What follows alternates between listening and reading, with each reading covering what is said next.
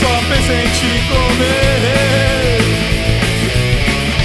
Arrancar seu lindo pescocinho só pra me satisfazer.